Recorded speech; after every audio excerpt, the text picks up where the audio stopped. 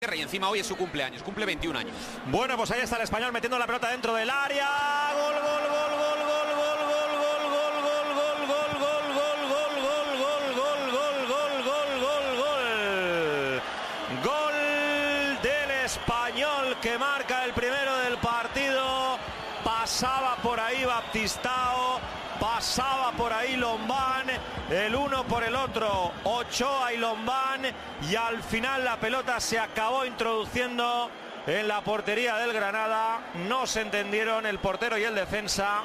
Ha marcado el español el 0 a 1. Sí, nuevamente aquí vemos desajustes, 4 contra 3, pero eh, vemos que ese detalle de, intento de, no sé si hacerse con el balón o despejarlo, porque el pase es hacia atrás, Lombán queda por delante, no sé muy bien lo que quiere hacer, interceptarlo y al final, pues bueno, tiene la mala suerte de que lo golpea hacia su portería y el que lo aprovecha muy bien.